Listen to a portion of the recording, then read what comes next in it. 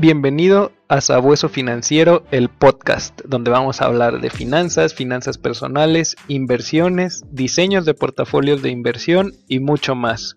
Te invito a que si te agrada este contenido, te suscribas y actives la campanita para que te lleguen todas las notificaciones de nuestros próximos videos. Hola y bienvenido nuevamente a Sabueso Financiero, el podcast. El día de hoy, la guía definitiva para iniciar a invertir, fondo de emergencias.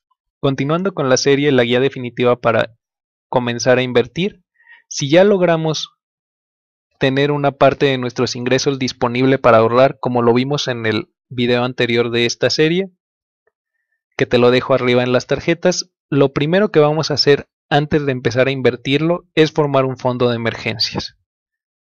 La finalidad de este fondo de emergencias es brindarte estabilidad en momentos futuros de imprevistos que esperemos no sea necesario nunca. El fondo de emergencias va a ayudarnos a que nuestro dinero, si en caso de que nuestro ingreso se vea disminuido, podamos hacer frente a estos, a estos gastos, a los gastos que tenemos normalmente. No es capitalizarnos y no tocar incluso nuestras futuras inversiones hasta que éstas maduren de manera adecuada e incluso si hay oportunidades para poder aumentar nuestras posiciones en las inversiones, lo podamos hacer. Y sobre todo, lo más importante, no endeudarnos y tener que recurrir a los créditos. Y entonces, ¿qué es un fondo de emergencias? Un fondo de emergencias es, como su nombre lo dice, un ahorro que vamos a tener para imprevistos o momentos de necesidad como alguna enfermedad, desempleo o cualquier situación complicada. ¿Y qué cantidad debo tener ahorrada en este fondo de emergencia? La cantidad que debemos tener ahorrada es variable y depende en realidad de cada persona. Algunas recomendaciones que hay es que en primer lugar el dinero que tengamos ahorrado sea el de nuestros gastos, no precisamente de nuestro salario. Entonces, por ejemplo, si estamos solteros, si estamos solos, o incluso con pareja, lo que debemos tener ahorrado es de 3 a 6 meses de nuestros gastos, tanto fijos como variables. Recuerda que estos gastos no precisamente son el sueldo, como lo comentábamos. Por ejemplo, si tus gastos al mes son de 10 mil pesos, debes tener un fondo de emergencias de entre 30 a 60 mil pesos como mínimo. En cambio, esto sí tienes pareja y aparte hijos, lo más recomendable sería tener de 6 a 12 meses de los gastos en tu fondo de emergencia.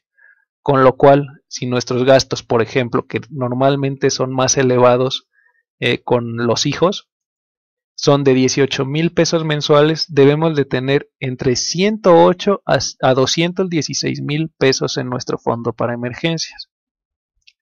Recuerda siempre que el fondo de emergencias se va construyendo poco a poco y no tiene que ser de un día para otro.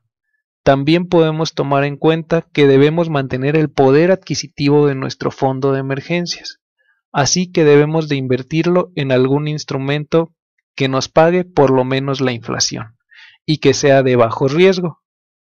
Y, lo más importante, que sea lo más líquido posible, que podamos tener acceso a él de la manera más rápida. Algunas opciones para esto serían los CETES de, o bonos del gobierno, SOFIPOS, manteniendo el margen de seguridad del seguro ProSofipo, o algunos fondos como DIN, que nos ofrece exposición al fondo Actimet de Actinver, eh, teniendo nuestro dinero líquido en 48 horas más o menos. Otra opción para esto podría ser Hey Banco, que podemos tener nuestro dinero en el ahorro líquido siempre. Estas son algunas de las opciones y consideraciones que debemos de tener al momento de formar nuestro fondo de emergencias. Te invito a que vayas formando el tuyo antes de iniciar a invertir, ya que con esto estarás más tranquilo. Te doy las gracias por escucharnos y nos vemos en un próximo episodio. Te invitamos a que te suscribas, le des like si te gustó el contenido y nos sigas en nuestras redes sociales. Gracias y hasta pronto.